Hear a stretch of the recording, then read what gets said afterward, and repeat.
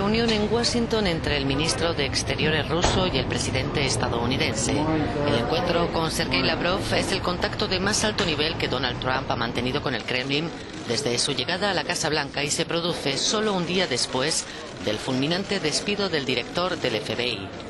Trump y Lavrov han debatido sobre los conflictos en Siria y Ucrania. También han tomado el pulso a las relaciones bilaterales entre Washington y Moscú.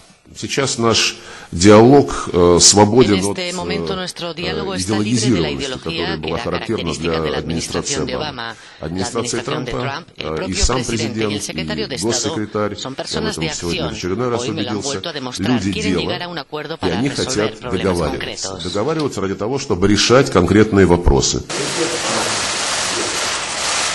Lavrov también se ha reunido con su homólogo estadounidense, Rex Tillerson, en un encuentro en el que han hablado de reducir la escalada de la violencia en Siria y garantizar la llegada de ayuda humanitaria a cientos de miles de civiles.